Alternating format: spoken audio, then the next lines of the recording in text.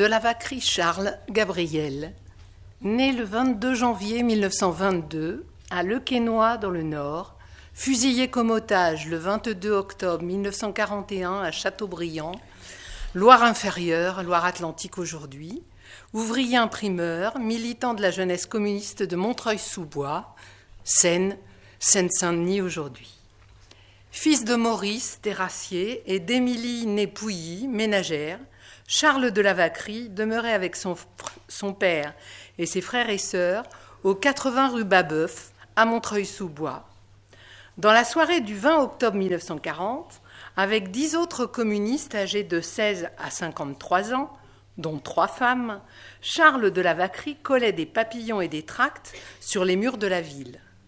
Certains militants portaient des pots de peinture et de minium pour tracer des mots d'ordre sur les murs et les chaussées. Collait-il l'humanité clandestine du 19 octobre qui appelait à l'action contre la répression que poursuivent les autorités françaises et les occupants? Trois gardiens de la paix du commissariat de la ville les appréhendèrent et les conduisirent au commissariat. Charles de la Vacquerie, incarcéré à Fresnes, comparut le 19 janvier 1941 devant le tribunal correctionnel qui le condamna à six mois de prison pour infraction au décret du 26 septembre 1939. Le 7 février, il fut transféré à la santé. Puis le 7 mai 1941, il fut interné au camp de Choiseul à Châteaubriand. Son père Maurice fit part de son désarroi par une lettre le 9 septembre 1941 au préfet de police. Son fils Charles, soigné pour une pleurésie, devait partir en sanatorium. Je crains qu'il ne puisse encore tenir, et la séparation est bien pénible pour un pauvre père qui reste seul avec trois enfants. Père de neuf enfants, veuve depuis cinq ans.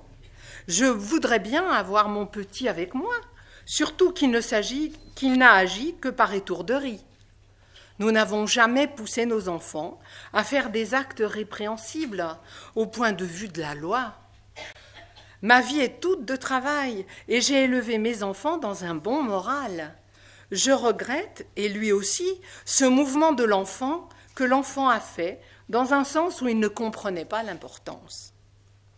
Le 21 octobre 1941, à Nantes, trois membres de l'organisation spéciale, Spartaco Guisco, Marcel Bourdaria et Gilbert Brostein, exécutèrent le Feld commandant du département, Karl Hotz.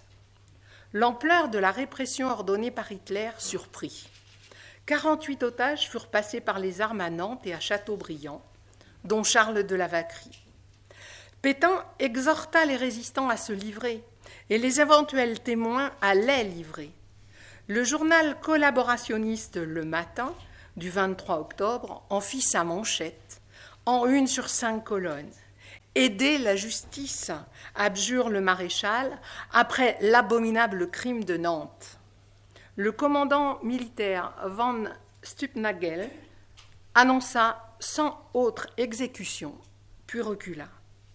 L'organisation clandestine ne revendiqua pas l'action et prit ses distances. L'officier allemand sortant, on ne sait d'où, à 2 heures du matin, avait été tué, précisait l'humanité clandestine du 1er novembre 1941, qui titrait 50 otages fusillés à Nantes et 50 à Bordeaux par les Allemands.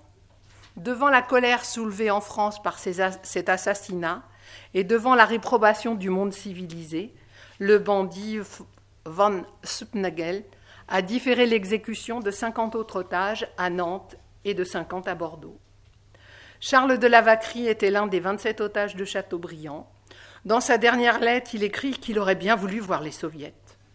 Après la libération, le conseil municipal de Montreuil donna son nom à une rue de la ville. Au cimetière du Père-Lachaise, près du mur des fédérés, sur le monument commémoratif des fusillés de la résistance, avec en épitaphe Gloire à notre France éternelle, gloire à ceux qui sont morts pour elle, aux héros de la résistance fusillés par les nazis, figure le nom de Charles de la Vacquerie.